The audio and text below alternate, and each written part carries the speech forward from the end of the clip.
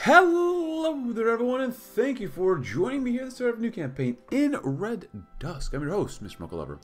Uh, but as you can see on the screen, we have a little thing to read about the United States.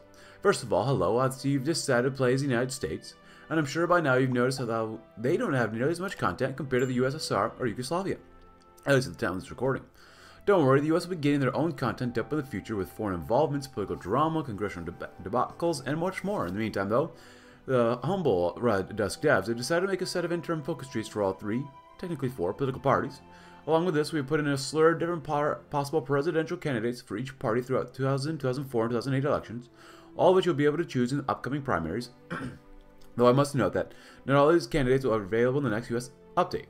And while yes, the interim trees are not that big, the trees that, that will replace them in the next content update will be quite expansive. We can promise that. If you wish to see the US update come out sooner, feel free to join the Red Dusk dev team. Whether it be a coder, artist, writer, you can be a part in the forging of this new alternate world. Have fun. Stay on the Red Dusk US team. Cool. Basically, too long didn't read. Basic USA content right now. We'll expand in the future. You get all political power, so. We're led by a guy named Dan Quayle. We got quite a few uh, natural spirits, but we had the aftermath of the uneasy 90s. the 1990s were the United States. We're a period of confusion, of stagnation, of gridlock, and of inaction. We didn't exactly fall, but we didn't rise either. Our nation faced a period of unrest, inability, and most prominently of all, unease. Everything felt like it was on a breaking point, and though Quayle was able to barely inch or cinch the election against Brown, it proved to us that maybe, just maybe, we're not as invincible, as we hoped. We'll see about that. And then Quayle's America. What's worse than an unpopular president? A president who's unpopular because he hasn't held to a single campaign promise he made because he hasn't done anything he said he would. Because under him, seemingly nothing has gotten better. Though to the man's credit, nothing's gotten inherently worse, but most people aren't a glass half full type nowadays. With approval ratings as low as 39% by some estimates, Quayle's presidency hasn't done much to try and fix that uh, issue, raising new taxes at the height of the recession, sending troops overseas once more to ensure a position in the Middle East, and generally being a quiet, almost reserved public official, mostly on account of Quayle's various growing health concerns. Just what is he hiding under all those smiles? and the winner is... The winner is... So we gotta do a lot of this stuff here too, so... Um, we got some things here. So, on the world stage, the principles that should guide American foreign policy are simple. The world is safer when America leads. Only strength ensures peace and freedom. And America must stand with its allies and challenge its adversaries. adversaries. In the spirit of our fight against communism, we must now lend our covert support to Eritrea in the struggle against the Ethiopian regime. Operation Werid uh, Wali as Ethiopia's desperate attempt to crush Eritrean rebels, but we will ensure its failure through precise sabotage, paving the way for an imminent anti-communist rebellion in Ethiopia. We've stood against tyranny before, and now it's our duty to stand with Eritrea, ensuring their survival and preparing the ground for freedom to rise once more. So, the first value is effects the, the Ethiopians are currently getting, while the second value is the worst we can inflict on them. So, a lot of attrition. Yeah, so. we'll disrupt Ethiopian supply lines by planting mines along the major transport routes, medical facilities, basically same thing, leading to inadequate care for wounded soldiers, destroy supply depots by destroying Ethiopian supply depots, force our troops to consume weapons and supplies at a higher rate, incite crop destruction, destroy crops and resources that could be used for Ethiopian forces, spread disinformation, will spread disinformation among Ethiopian ranks, disrupting their chain of command, slowing their organizational regain, sabotage cabin, uh, uh, communication networks. Will conduct targeted sabotage of Ethiopian communication networks, severely hampering their ability to reorganize after engagements infiltrate logistical net networks, infiltrate their networks, and sub subtly reroute their supply chains, causing unexplained delays, delays in reinforcement arrivals, create transport bottlenecks, delay Ethiopian reinforcement deployments, engineer landslides. Um, we will engineer controlled landslides and other obstacles to increase the terrain penalties for the Ethiopian forces and false landmarks. Manipulating local environmental actions and creating false landmarks will mislead Ethiopian troops in difficult terrains, we can build nuclear war, and we have NATO. The North Atlantic Treaty Organization was originally formed to counter the threat of Soviet expansion during the Cold War, standing as a bulwark against the spread of communism in Europe. After the Warsaw Pact fell, we struggled to find the alliance's purpose in the rapidly changing world, but now, with the Soviet Union rising again and ready to strike Europe at a moment's notice, our mission has never been clearer. At the heart of the NATO strength lies the North Atlantic Council, where we, the member nations, come together to make critical decisions that shape our collective defense. This council ensures that our alliance remains united and responsive to any threat, coordinating our military strategies and diplomatic efforts. In these uncertain times, the North Atlantic Council is a guiding force, directing our actions and ensuring that every move we make is the best in the interest of our shared security. Now what's this? Counter isolation settlements.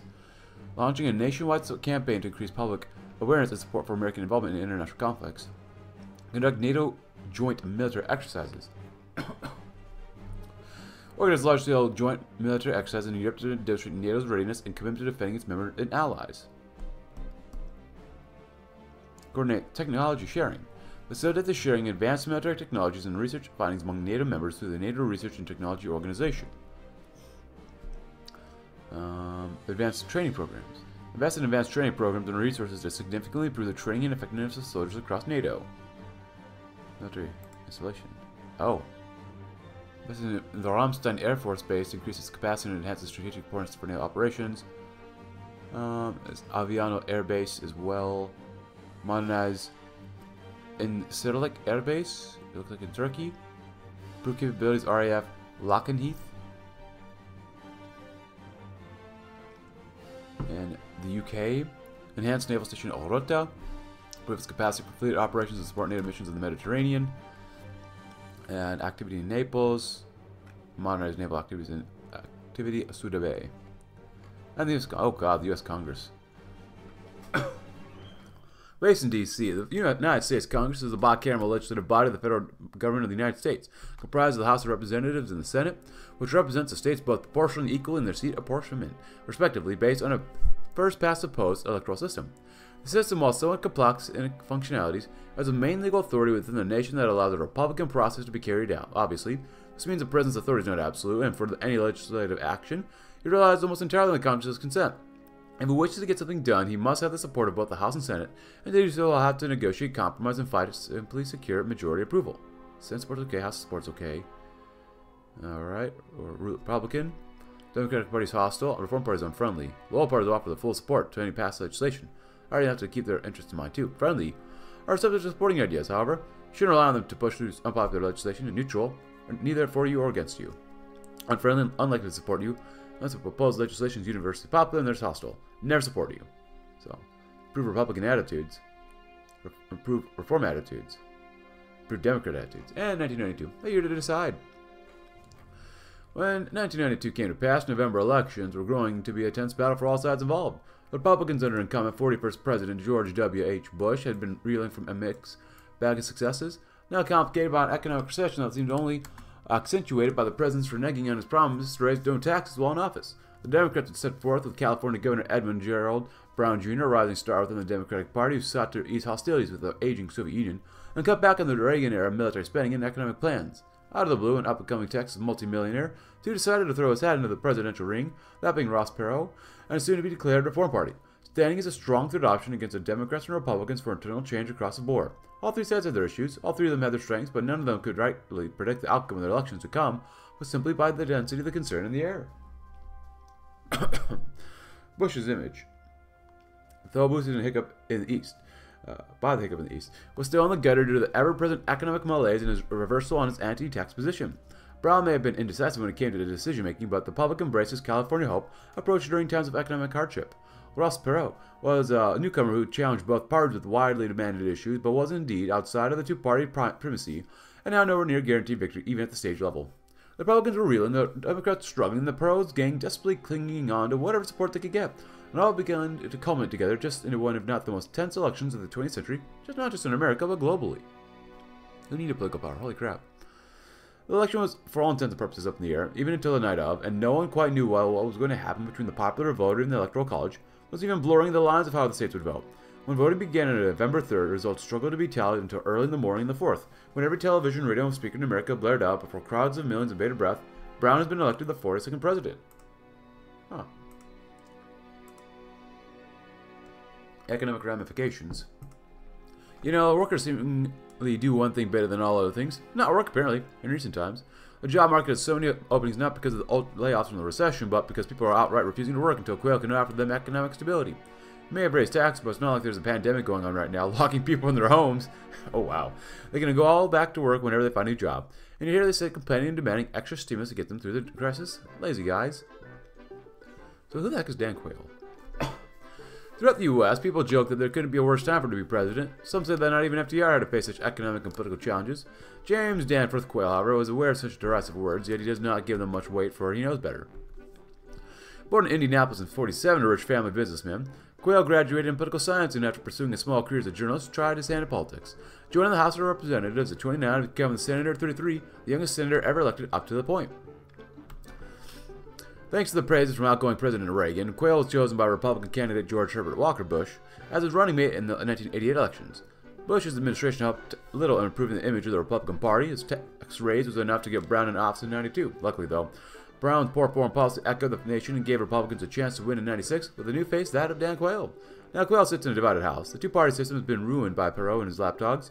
The economy has left stagnation, uh, or stagflation, and is entering full recession. The United and the Soviet Union carries on, leaving a trail of desperate nations willing to cooperate for protection. Truly an FDR-esque setting. The outcome of 92. What marks an upset for the ages, Brown managed to trounce Bush on election night, marking his victory of 341 at 190, with Ross Perot having stolen six, but taking the states of Maine and Alaska. Wow. The most contentious election ever since 1860, claiming one CNN pundit in the aftermath of the election. The Democrats, as of this time, were in a celebratory mood, having dethroned the long-time ruling Republicans, taking back the presidency with the majorities in both Houses of Congresses, or Houses of Congress, though they lost a good bit of their traditional support base of Perot's economically social platform and the Republican Party's avidly anti-communist sentiments, it wasn't enough to stop the Democrats' comeback. Brown's record as governor of one of the richest states in the U.S., though tainted by the recent King riots, had been a perfect tool when fighting against Bush's failed economy. Campaigning on modernity and economic reform, Brown has managed to cater to the interests of the middle class and northern based voters, allowing him to be viewed as a fresh new face that represents the country for new deeds. Though Brown may have managed to win the presidency, he unfortunately was not able to win over his fellow Democrats, with both progressives and Southern Democrats untrusting of a supposedly moderate agenda.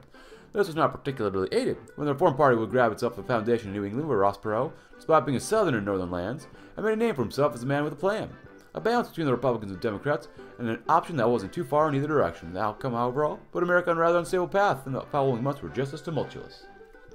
Jerry Brown's first few months in office would be relatively smooth, with economic relief packages and government investments aimed at reviving domestic industries, pro providing a brief pause in the long-running economic downturn. Unfortunately, this would be the end of Brown's successful agenda, with the first known his coffin coming from abroad in the Yugoslav wars. In the war that Bush handed down to him, Brown would make the critical error of halting the mass bombings of Yugoslav strategic positions in Serbia for the sake of peace and preventing further conflict. The war would go on and develop his presidency, with the public eventually growing sour over his lack of action in the theater, worsened further by the revelation of the extent of the Yugoslav war crimes perpetrated by against Croatians, with Brown giving minimal aid to the anti-Yugoslav forces. The eventual protests and divisions between Brown and the congressional Republicans would become the start of a long spiral for America, into what would be later known as the Uneasy 90s. What do we got here? The Constitution, Written and ratified in 1789 by most states, the Constitution of the United States and its entailed Bill of Rights is the foremost document that makes America the land of the free in the world. More intervention in Angola?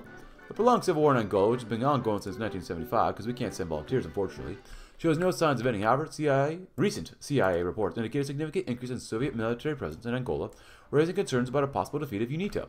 Additionally, the MPLA government's support for Kabila, the Second Congo War, could lead to a disaster in the north and severely weaken the U.S. influence in Africa. Although we provided arms to UNITA, seems insufficient to overthrow the MPLA. There have been suggestions of another military venture in Africa, but the domestic public opinion risks are unpredictable and cannot be underestimated.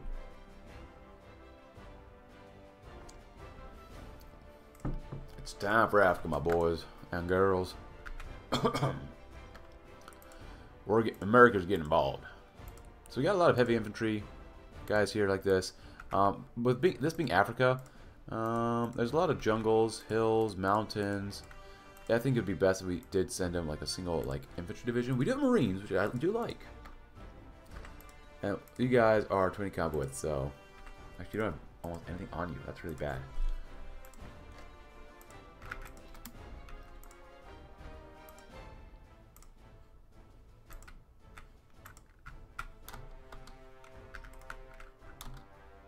Welcome aboard. Uh, it's fine, whatever.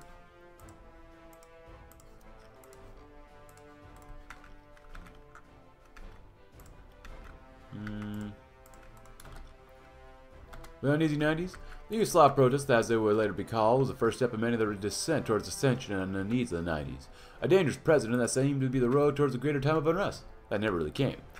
Just, uh, when everyone thought the American nation was on the brink of massive rioting, the chaos seemingly just stopped out of nowhere. The protests, though lengthy, were steadily replaced by an American public growing increasingly disillusioned with the new face of America, an ideal that Brown had campaigned off of. It helped that the Browns' economic plans had only mild impacts on unemployment overall were ineffective in dealing with the downturn. This era was in no way for the American nation particularly bountiful and prosperous, but at the same time, neither was it violent and bloody. While the old odd rider two still broke out in cities between members of both the left and right, the decade itself didn't follow the trend of the riots of the 60s. Instead, followed more of the aftermath. No one knew entirely how to feel. The entire nation entered a sort of gray zone, an imbalance in the universe itself, as the entirety of America sat on by for the ride. The tensions around every citizen were palpable, palpable, as though no one could reach out and grab it, and yet it never came. No great eruption, no horrible collapse. Time simply moved on. No one could entirely believe it. President Brown will continue to fight on and weather the storm for the next four years of his term in office, battling with Congress over social reforms, building relations with the former Eastern Bloc nations, even working to oversee the reconstruction of Germany following a period of unrest and the reintegrated East in one of his few victories. Ultimately, however, Brown's successes were overshadowed by his domestic and political failures, a sore spot that would be bitterly exposed in the 1996 elections. This election would see him pinned against Bush's vice president and new former frontrunner for the Republican Party, Dan Quayle.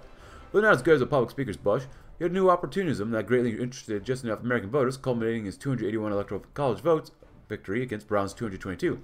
This election, similarly to the former, would see Perot play his hand in the race, with the Reform Party making an impressive demonstration and receiving nearly 30% of the popular vote, and taking all the states in the England area, earning him 35 electoral votes. With the three parties in the Senate and Congress by the end of the decade, the government had been much rather slowed down, an inability to respond appropriately to many issues. The emergence of the tripartisan politics, the struggle to find a solution to the Soviet issue had left America in a position of indecisiveness. The government by 1997 was now feeling the full effect of the nation itself and felt division that did not tear asunder, a break in the chain and yet the continued march of progress. Time stood still and yet it still flowed onwards. It was, as the name implied, all in the state of unease. I guess unease is better than suffering? I guess. Alright, so where are we at?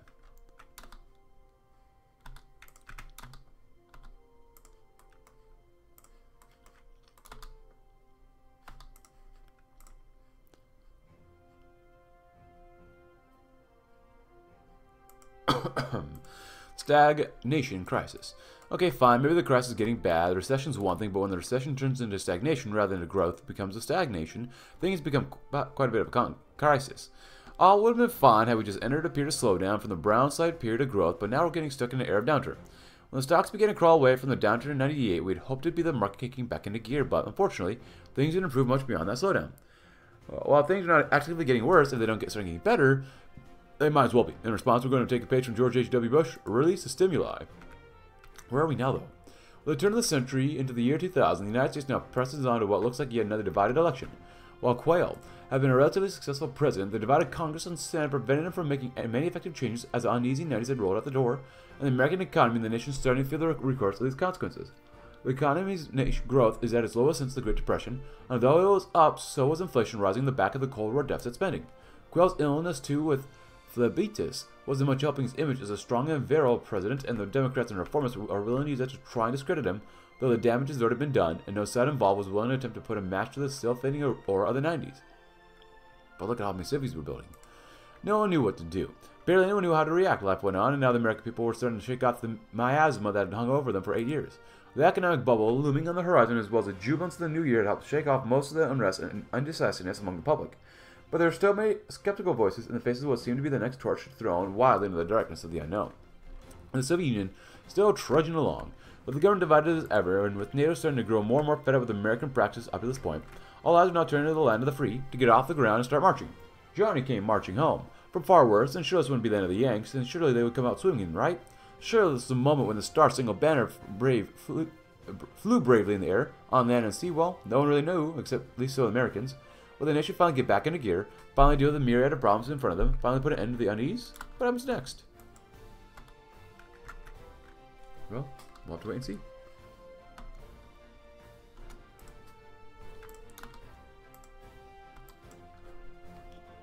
I don't mind helping attack, especially if it'll slow them down, maybe. Because we don't want these guys to get encircled here.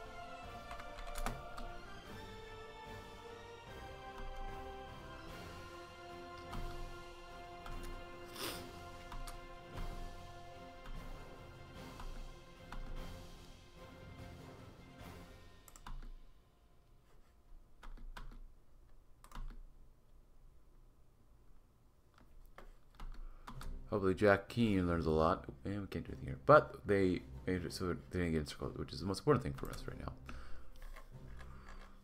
Yeah, it doesn't look like we can really do very much. Oh, okay. But you know what? Since we're here, we can show this stuff. I mean, doing this stuff isn't not bad. Benito? Uh, eh, sure, why not? You know, we'll do all these at the same time. Why not? Because we can. There's all this stuff too, which hopefully we don't need to get really involved with, but whatever. Oh, you're getting attacked too, huh?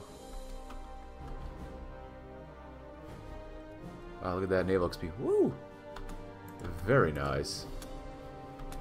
Welcome to Quill's America Happy March, everybody. Um, three-party primacy. Contrast to prior years, American nations seemingly become a three-party nation rather than the usual two-party. While this does help allow the, political divide to stay away from the usual us versus them mentality, it also makes getting legislation through much, much more difficult. Legacy the Glass-Steagall Act, fragile. In the 30s, the banking system in North America and Europe collapsed due to the Great Depression. In 1929, on the eve of the crash, there were over 26,000 banks operating in the U.S. By the time President Roosevelt temporarily suspended banking activities on March 5, 1933, fewer than 15,000 banks remained, with 5,000 banks having failed and 32 alone. The temporary suspension ended the widespread rush of depositors to withdraw the widespread uh, withdraw their funds from banks across the country. On March 9th, the U.S. Congress swiftly passed the Emergency Banking Act as one of the first steps in imposing significant restrictions on private financial institutions.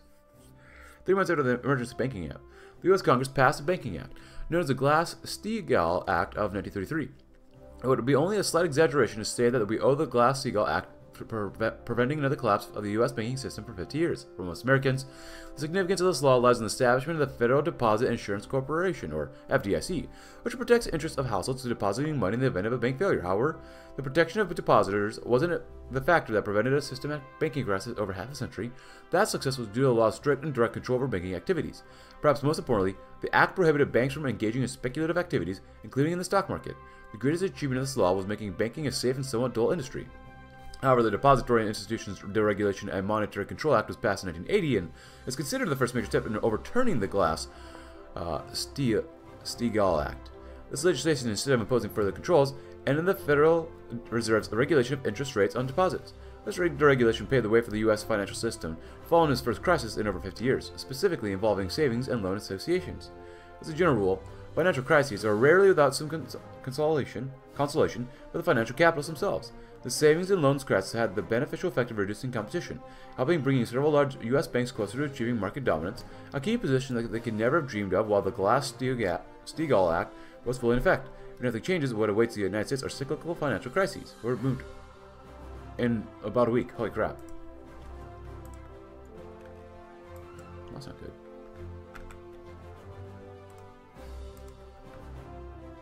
Second Amendment. Oh, yeah. Part of the Bill of Rights, probably the most vital of American liberty, the right to bear arms, is one of the most outstanding gun rights legislations in the world, allowing all American citizens to privately own arms and arm themselves. With caveats, of course, with this behind every blade of grass stands an American with a rifle. Oh, that's right. Stagnating economy. Oh, God.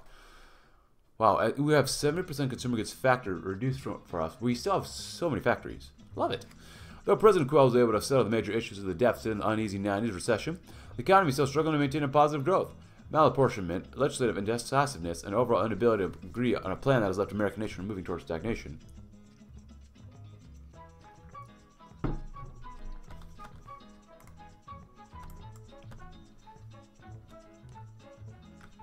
Ailing Quayle.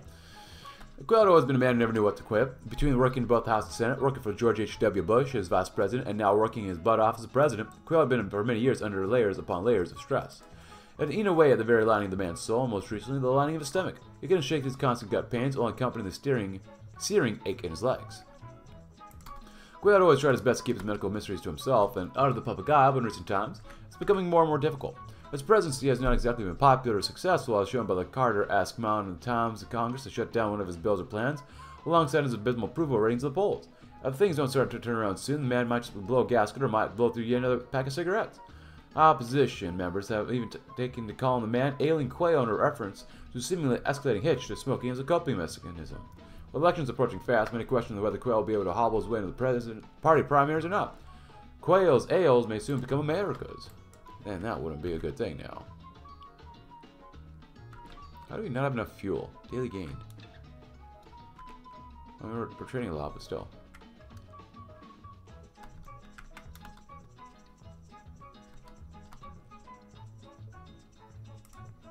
We need to throw in some support already too. Look at that. Sure. Well, I don't think we need this one for now. How's that thing looking here? Oh! Not ideal. Got a lot of options here. Hello. Stealth bombers? Sure.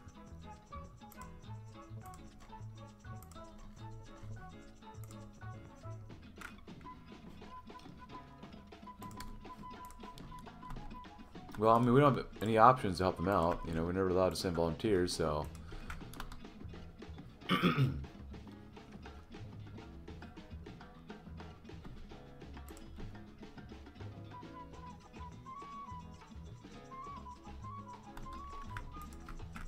At least you now have a positive output of power. That's good.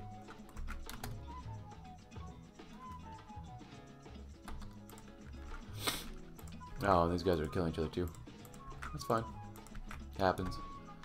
And we got some worker strikes, stagnation crisis, three parties, of course.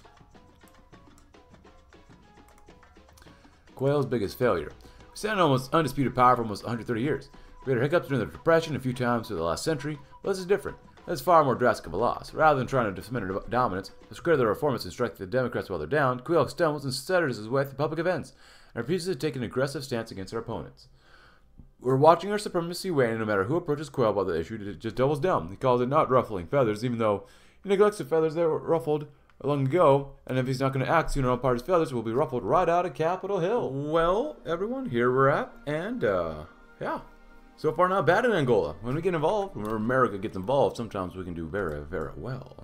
Now we gotta make sure we hold on to this tile here, and, okay, good enough. Let's help out now. So I did increase this by a little bit. I did throw on some support toad artillery. That's why our army XP is so low. Um, the stimulus arrives. On the wake of growing worker protests, strikes, union population, of course, and so on and so forth, the Quayle administration has decided it's time for the government to finally do something. Finally get moving on the reform people are so heavily demanding. They want stimulus, fine. It goes against just about everything we stand for, but fine. We'll draft up a little bill to include some trinket benefits for healthcare and un unemployment, some subsidies to get people to shut up and get back to work at the very most. What's the worst that could happen?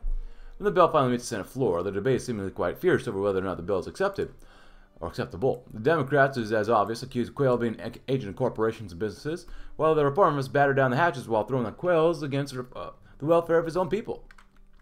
There were, of course, expected responses, but surely some of them would vote against uh, support the bill, right? At least to claim clap for the coming election season, right? Things began to rapidly deteriorate when several Republican members of the Senate also began to voice distaste for the bill, with one Senator, Ted Stevens of Alaska, claiming that the bill is an open insult to the suffering of the people of America, and how it would be completely overthrow the budget. The party lines had seemingly been broken, and soon enough all bets were off, with most of the Senate quickly rallying against Quayle's bill. Let's hope at first, and soon enough it was trampled when the majority leader revealed the results of the vote. The Senate has decided in a vote of 25 to 75 to not support the Quayle economic stimulus bill. We do have quite a bit of a political power here. Which is nice. These guys still suffering up there. Um,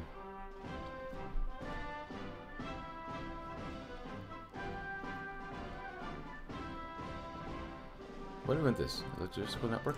It takes 14 days. We can build a nuke, but I'm not sure how much would really help us out. Oh, we can build it up again? Ah, sure, why not? Because we can, you know? Oh, is this one? Oh.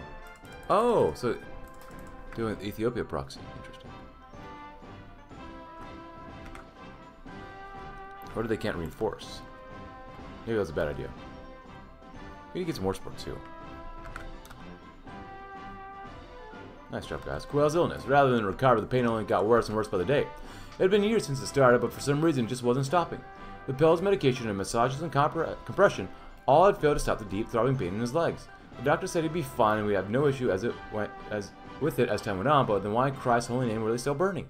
The itch wouldn't go away, the inflammation never went down, and the red spot coursing through his side never really gave in. It was as if he was suffering from someone constantly rubbing poison ivy on his legs, and he could never wash off the oils. If he had to with another moment, he'd probably start screaming about the Oval Office and Tizzy. Mr. President, a voice came in from the secretary's room, familiar and yet muffled under his own thoughts. Quill looked up at the door and barked with an unenthusiastic groan come in as a response. Through the door uh, stepped a friend, a close one. The family doctor, of course. Did he have another prescription? Another drug? No, he just had a stack of papers. an oddly depressed look on his face. The president had been so busy with the past several years moving around and taking so many darn tests that he hadn't seen the man in so long he almost didn't recognize his face.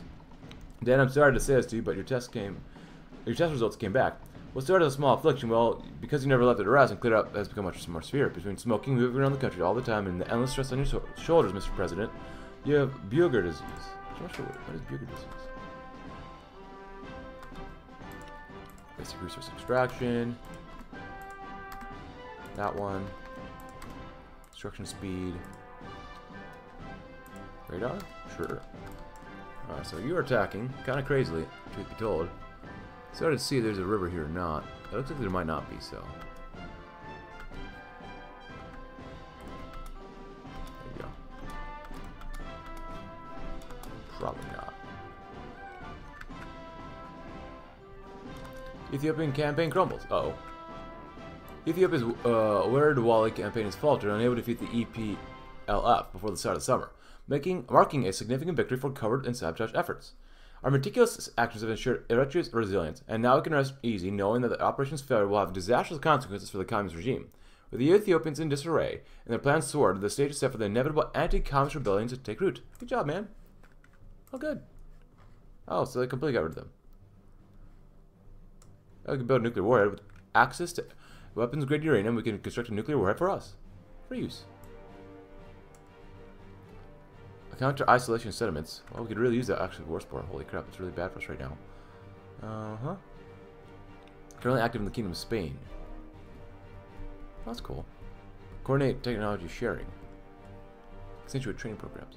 Well, you know what? We counter this. Why not? That'd be really good for us. We could use more, uh, more support and whatnot, too. Rebellion in Ethiopia. Look at that. Yay! Rest in peace. Oh, wait. Oh, whoops. Our job here is done. But you didn't do anything. Like I said, our job here is done.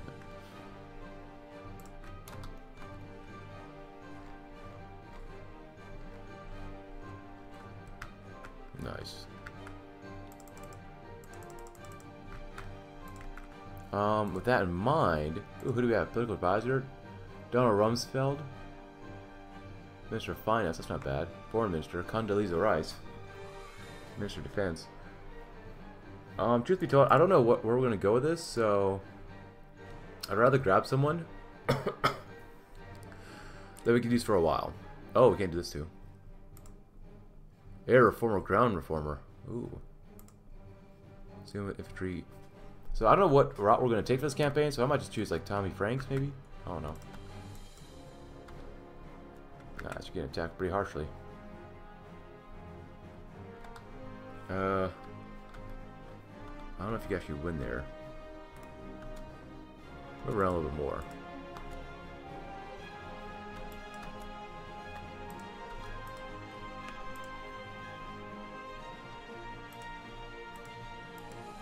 Waiting for the election.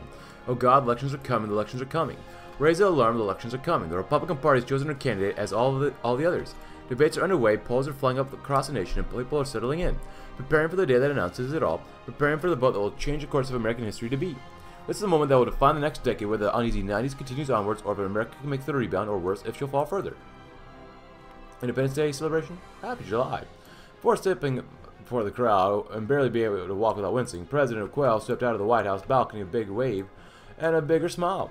The atmosphere was rife, the people were in full swing, and the joy of the air was unrivaled as American flags flailed in every direction.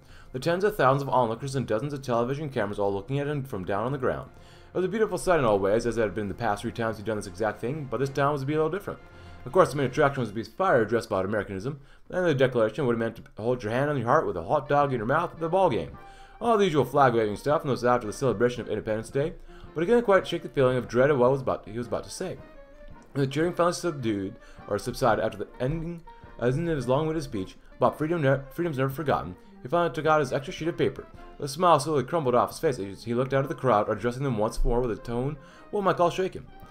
now today, I have one final announcement to make. It is with great pride that I have served as your. He droned on for about ten minutes of how grateful he was to be president, and how great the people were, and how amazing America was. Yes, yes, yes, everyone gets the message, but then he made this final statement.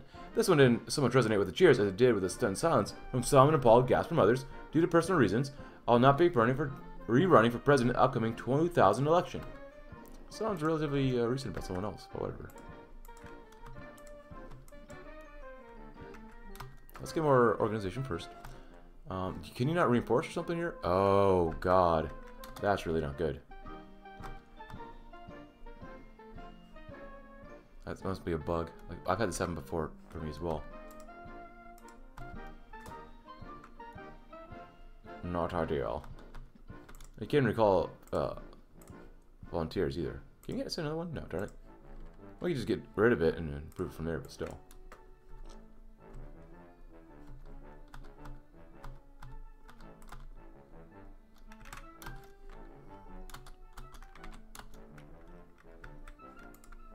Oh man, they're really attacking really, really hard. Well, it's the first campaign in America. We don't want to lose here, do we?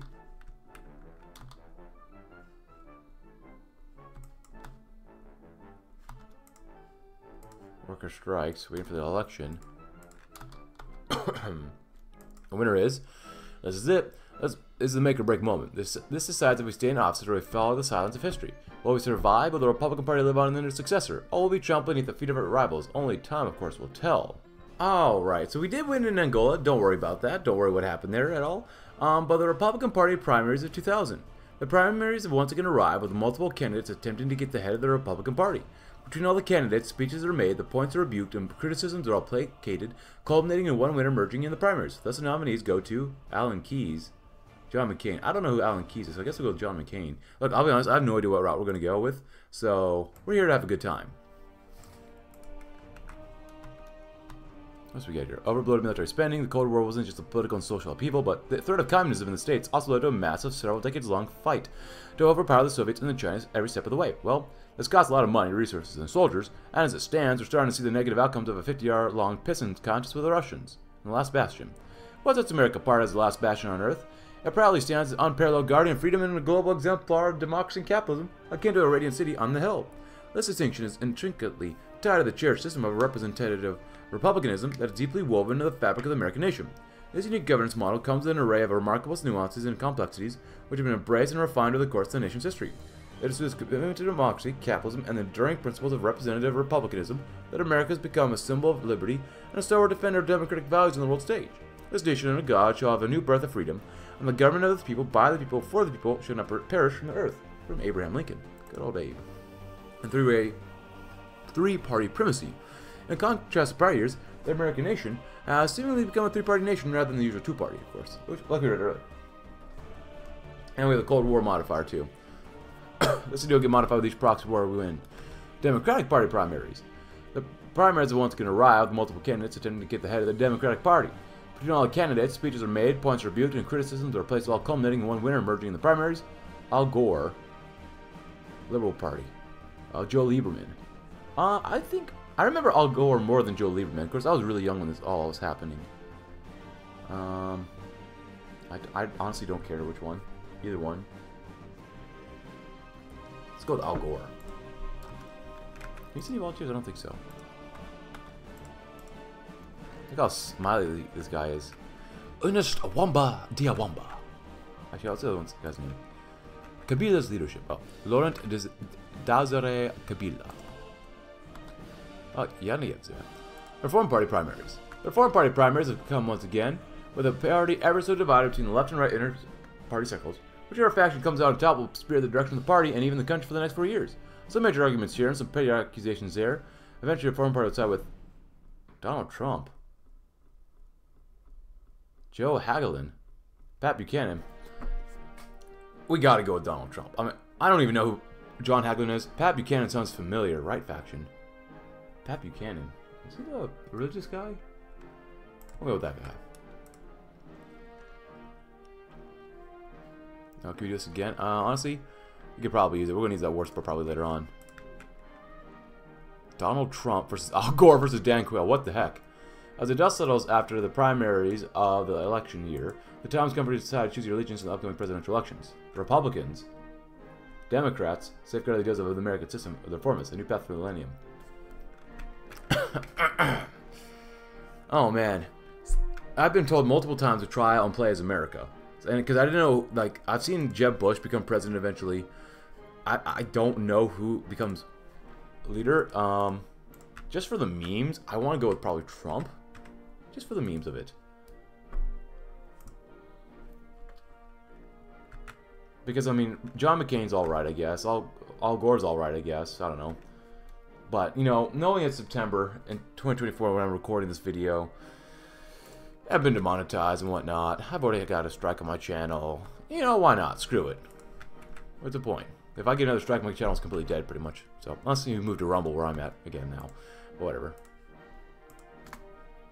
Raytheon. When in doubt, buy your Raytheon stocks. We're going to get involved in another war eventually anyways. Uh, Air Sport, nice. Uh, yeah, better production cost. Boom. No nukes, unfortunately. Transitional government established in Ethiopia. Look at that. Oh. Pieces are returned to Ethiopia for how long? Actually looking a little thicker. Collective leadership. A generation of warriors. Look at that. So what's next for us then? Waiting for the election. Quayle's, qualms. Got a few more days for that one. Still building, building, building. You know what? Screw it. We could use more, uh, well, honestly, we could use more infrastructure overall. Are we building this much? Look at all these millions and cities we want to build too.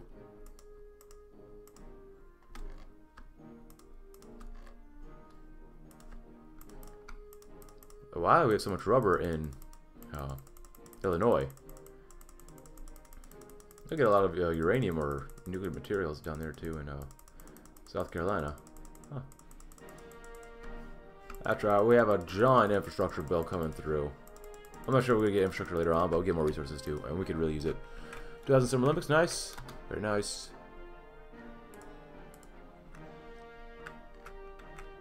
Well, it's October. Uh, nothing like a good old election year. Excuse me. Quayle's qualms. Quail hasn't seen many things in his day. Oh wait, we're supposed to help vote for people. Oh crap, I forgot about this. Um, been all around the world, talk with kings and prime ministers, sign bills and force through orders, and yet his moment is that that gets to him. The moment that decides the fate of the party. The primaries in the party were, of course, successful. If Quayle won't man the helm in the wake of his illness, someone will have to. It's about to be that referendum whether or not they get to get to or some other schmuck does. Quayle puffs back a cigarette while I reads early poll pollster remarks. The headlines mostly read the same. Some drivel about the Democrats and reformers are due for an easy ride into the House and Senate. How the presidency's up in the air, and how everyone knows the Republican Party is about to face the greatest challenge yet. The smoke does little calm president's the nerves as the newspaper rides through the eyes. Is Quayle done for? One asked, asked one editorial, and that seemingly was a straw that broke the camel's back. With a long drag and equally long sigh to follow it, Quayle looked out the window of the Oval Office and said, I'm going to throw someone out this window someday. The U.S. election stands as a beacon of democracy in the face of global uncertainty. The importance of a smooth transition of power is paramount, a safeguard against the looming specter of high geopolitical tensions. Against this backdrop, the political landscape of the United States is sharply divided between the liberalist Democratic Party, the conservative Republican Party, and the centrist Reform Party, each vying for control of the nation, teetering on the brink. In this polarized atmosphere, the outcome of the election carries immense weight in shaping the destiny of the Union. You're siding with the Reform Party. Swing.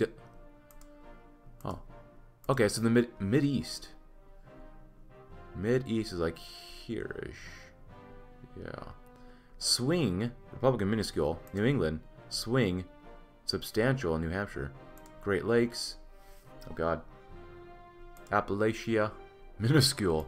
Deep South, Midwest, Pacific, Rockies. Campaign the, okay. Add popularity to every state in the region and media interviews. I should have done this earlier. U.S. Code, Title II, Section 7, a section often referred to as the Presidential Election Day Act, sets the first Tuesday of November is the first day for regular federal elections. Throughout the rich tapestry of American history, every presidential election is steadfastly adhered to this date, remaining unyielding even in the face of challenges such as the Civil War and World Wars, underscoring the nation's enduring commitment to the democratic process. Oh, and the campaigning too. Well, crap. I should have been doing this earlier. Nationwide poll. By have a nationwide poll, we can gain more accurate list of the current popularities of each party in each state, and televised a campaign. Well, crap. I should have not. I should have done this. My bad. Of course, we don't have a lot of political power to begin with, but uh, for example, their swing minuscule. Uh, minuscule is not good for us. Huh. Significant support in Arizona, Rocky Mountains.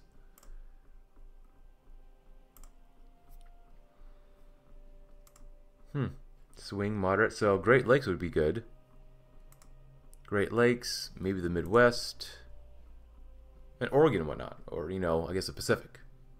Well, we have a current resolution for NATO. Quarterly military support for Poland. In light of covert intelligence reports indicating that the potential successors of the recently resigned Soviet General Secretary Gennady Yanayev are considering a renewed path to assert influence in Eastern Europe, the North Atlantic Council has called upon enhanced support for Poland, Europe's first line of defense against communist resurgence. Recognizing Poland's pivotal role in safeguarding the continent from Soviet aggression, this resolution proposes the establishment of a quarterly Lend-Lease initiative, ensuring that vital military equipment and resources supplied to the Polish forces on a regular basis, rather than sporadically. This commitment not only reinforces Poland's capacity to resist any Soviet advances, but also sends a clear and unambiguous message to the world. NATO stands firmly with Poland in its defense of freedom and democracy. So, yes, it's successful.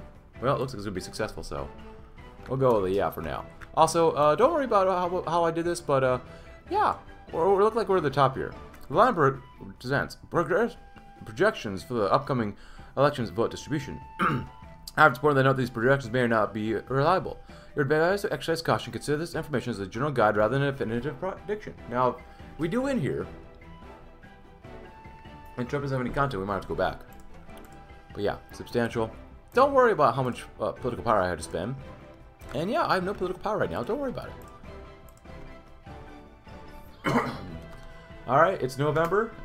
First Tuesday of the month. Let's go. See what happens.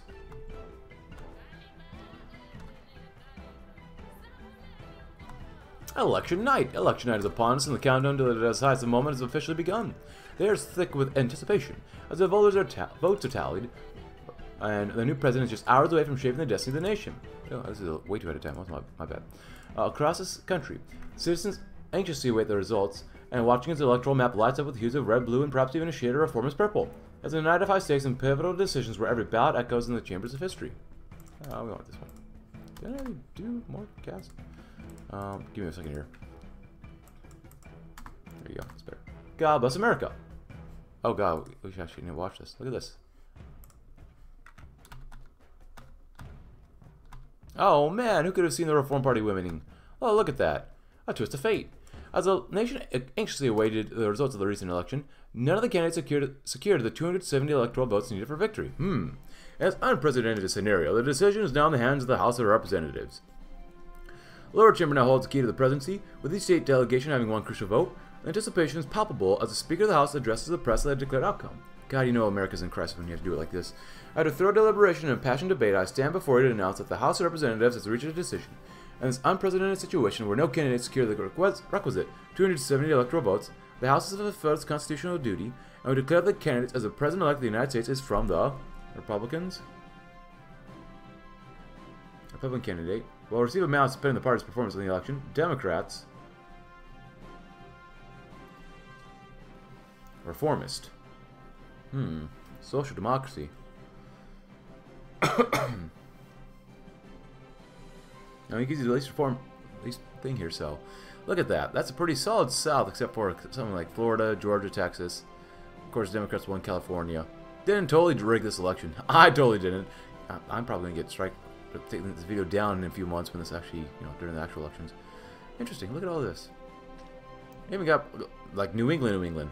Look at that. It's pretty nice. Uh, Virginia went blue. All right. Look at that. Reform Party. Who could have seen that one coming? Ever since Ross Perot founded the Big Ten Reform Party, the party was internally divided into left and right factions. Many suspected the party to eventually overthrow the long-standing two-party system in American politics. Today, this vision has come to fruition, as the Reform Party's left faction has emerged victorious in the 2000 elections, beating out both the Republicans and Democrats. This victory sent shockwaves throughout American politics, with the Reform Party now having a sizable influence in Congress. A new age of legislation has soon come to encompass the nation's people. The current left faction has made their agenda well known through the campaign, promising to go after the issues of poverty, expanding workers' rights, and healthcare. Bread and roses? Well, now we've got more focuses to do. The U.S. Armed Forces, which wouldn't be bad to do, Daily Army XP gain, Naval XP gain, and on the world stage. Fun anti-terrorist operations. Oh boy. Well, let's go ahead and start. Ooh, Asia Theater, Great Asian War, Cambodia, Indian Flames, African Theater. Ooh. Let's go with this one. The U.S. Armed Forces. The Armed Forces were created more than two centuries ago.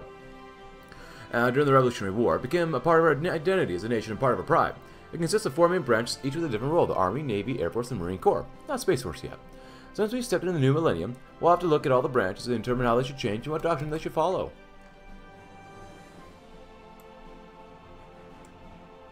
Technology sharing. Advanced training. Oh, everyone says yes for NATO. Okay. Well, I guess we're going to become social democrats here, so there's no point in doing any of that stuff yet. Um, I want to save the political power. You never know what you need political power for, so let's save it for now. United States Army. The biggest and oldest branch for military has been fighting unjust tyranny since its inception. The mission is to preserve the peace and security of the U.S. and to fight and win our nation's wars by providing prompt, sustained land dominance and across full range of military operations in the spectrum of conflict, and support of combatant commanders. Quarterly military dis equipment dispatch to Poland. With the passage of the resolution to enhance our support for Poland, we're required to send military equipment as part of the established quarterly Lend-Lease initiative. We have the discretion to choose which specific equipment to send, ensuring it best meets Poland's defensive needs. We expect to receive this quest again in three months as we continue our commitment to bolstering Poland's defenses. Infantry? Mechanized armor? Can't afford anything? You get out of the infantry equipment. There you go.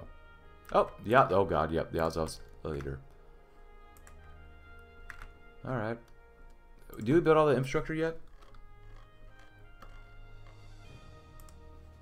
Oh, whoops. I forgot. I reloaded the save. That's why the snuff is not here. My bad. That is my fault. The south because I'm sure they could use a lot better infrastructure in the south. And across the nation as a whole, too. I don't know.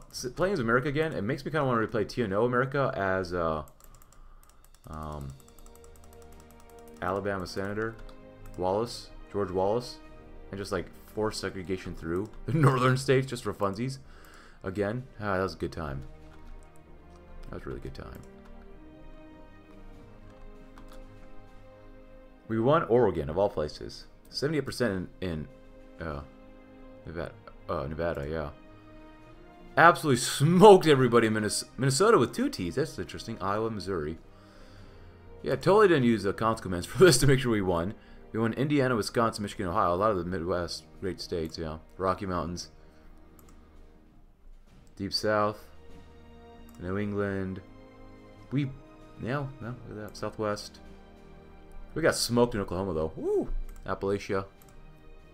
The Republicans had 100% of votes in Kentucky. In the East, yeah, the Democrats just won like crazy. Dozens radar, not bad.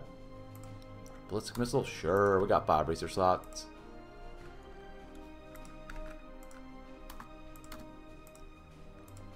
United States Air Force. The U.S. Air Fleet, basically the wing of our beloved Eagle. The Air Fleet, although not as important as their infantry, is extremely crucial in the war between a, between a battle won or lost. Therefore, we must correctly invest in it. By building new military aircraft, making certain modifications to existing models, or simply investing in research. You don't remain the leading global power, military power, or by sitting on your hands and spending your nation's budget on welfare. Come on, let's roll up our sleeves and we have work to do. And the United States Navy. the United States, of the US of A, is one of the strongest naval powers in the world, having long been masters of the sea since the end of the Second World War. Our naval force consists of tens of aircraft carriers, signature battleships, hundreds of subs, and thousands of sailors manning these vessels. With such, a large power, must manage its finances properly, which will be the topic of the next budget proposal. There currently allows an opportunity for increased funding to the Navy, with two possible places where these funds could be deposited. Our submarine fleet, the first one being a formidable factor within our naval power, our submarine fleet has been a staple that could be amplified with increased funding. The same goes for battleships as well, being both intimidating and powerful. A booster in our budget can ensure naval dominance for the next few decades, and back on the world stage. Cool. Gotta save more military factories. Not sure what to do with these though. We just don't have enough resources, which is why we need to expand our infrastructure. Yeah, we'll go back on the world stage and let's see what happens.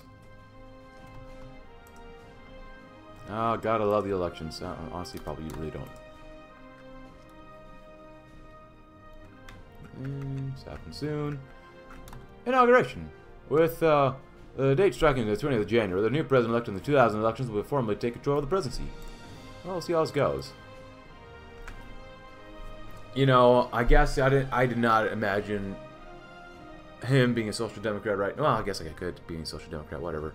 I don't know, electing him as president. Now he might not be a president in like when the U.S. gets a content dump from the devs, but regardless, I'm gonna end it there. That's one heck of an episode. So, um, if you enjoyed the video, please consider leaving a like, subscribe if you're new. Check out my Discord link in the description below, and I'll see you tomorrow. As we'll see what we can do with President Trump.